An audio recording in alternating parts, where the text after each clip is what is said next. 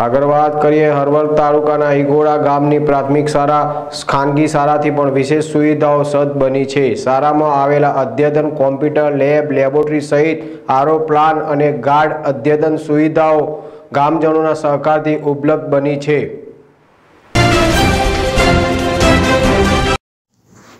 ઝાલાવાડની શૈક્ષણિક નગરી ગણાતા હરવદ શહેરમાં વિવિધ ફેકલ્ટી ખાનગી શાળાઓ ઉપલબ્ધ છે ત્યારે હરવદ તાલુકાની ઇંગોરારા ગામની પ્રાથમિક શાળામાં વિદ્યાર્થીઓને તમામ પ્રકારની સુવિધાઓ ઉપલબ્ધ બનવા પામી છે, જેમાં ખાસ કરીને આજના હાઈટેક યુગમાં કોમ્પ્યુટર લેબ લાઇબ્રેરી સહિત મોબાઈલ એપની સુવિધાઓ ઉપલબ્ધ કરવામાં આવી છે.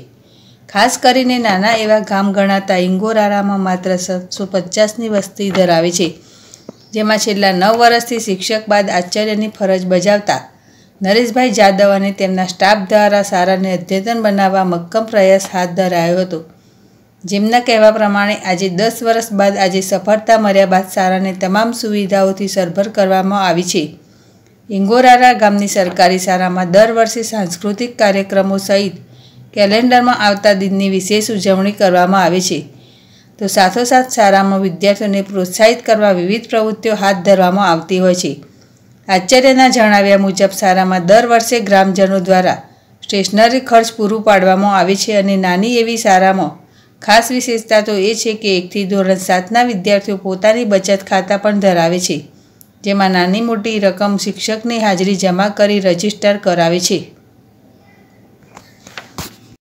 અત્રે ઉલ્લેખનીય છે કે વર્ષ બે હજાર અઢાર ઓગણીસમાં શાળાની સ્વચ્છતા એવોર્ડ સમારોહમાં હળવદની ઇંગોરારા પ્રાથમિક શાળાની સ્વચ્છ શાળાનો એડો એવોર્ડ પ્રાપ્ત થયો હતો, જેમાં રૂપિયા અગિયાર હજાર પુરસ્કાર આપી શાળાને સન્માનિત કરાયા હતા. ઉપરાંત શાળામાં શિક્ષક સ્ટાફ દ્વારા વિશેષ મોબાઈલ એપ્લિકેશન શરૂ કરાઈ છે, જેમાં વાલીઓને પોતાના બાળકો વિશે હોમવર્કથી લઈને વિવિધ પ્રવૃત્તિઓની જાણકારી આપવામાં આવે છે.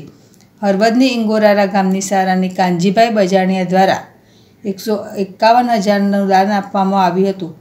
જેના થકી શાળાના ટૂંકા ગાળામાં કાયાપલટ કરી અદ્યતન બનાવવામાં આવી છે. મહેન્દ્ર મારુ સાથે સોમ ભરવાડ જેડેસ ટીવી હરવદ વર્ષથી સર્વિસ કરું છું અને સરકારી શાળામાં બાળક મૂલ્યલક્ષી શિક્ષણ મેળવે એ બહુ મહત્ત્વની વસ્તુ છે. એટલા માટે અમારી શાળામાં દરેક પ્રવૃત્તિઓ બાળકો મૂલ્યલક્ષી શિક્ષણ મેળવે એ ટાઈપની કરાવીએ છીએ અમે.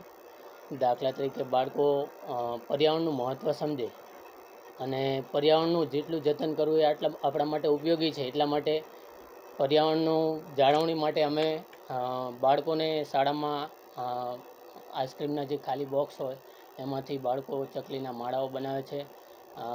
ઉનાળામાં પક્ષીઓને પાણી પીવા માટે કુંડાને નિયમિત તેમાં પાણી નાખે છે. આ સિવાય શાળામાં સ્વચ્છતાનું પણ એટલું જ અમે મહત્ત્વ આપીએ છીએ.